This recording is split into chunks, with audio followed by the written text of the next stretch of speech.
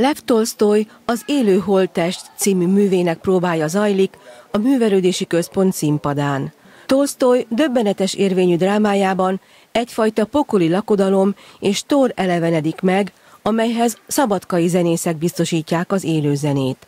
Az előadás különleges térben játszódik, a nézők maguk is részesei annak, bár nem interaktív módon. Mivel picit a történet eléggé egyszerű, mi egy picit megbalandítottuk ezt a, ezt a történetet élő zenével, ami nagyon fontos része ennek, a, ennek az előadásnak, hogy a történetnek a, kicsit a linearitását megbontottuk, és pont azért van ilyen tér, hogy a, a linearitása másképp jelenje meg a történetmesélés, néha, néha ugrálni tudjon egyik, egyik dologba, hangulatból a másikba. A művészek többsége már sokat szort tér vissza a fesztiválra.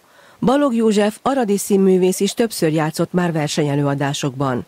Ez alkalommal egy női szerepet alakít. Egyébként sem vagyok egy ilyen valakinek a bőrébe belebújó, és azt valamilyen módon utánzó, vagy, vagy eh, mimézissel élő, nem tudom, színészfajta, és az Ernő meg nem is kért semmiféle női gesztust, vagy hangot, vagy, vagy efféle dolgot, tehát nem, nem kell ilyen értelemben nővé változnom, de hogyha fölveszem ezt a mennyasszonyi ruhát, akkor óhatatlanul valami olyasmi történik, ami, ami nekem egész egyszerűen megcsinálja a, a szerepet, szóval nagyon nem kell már ezen dolgozni, a ruha, a smink, és rendben vagyunk. A fesztivál kilenc napja alatt nem csak színházi versenyelőadásokat láthatnak az érdeklődők.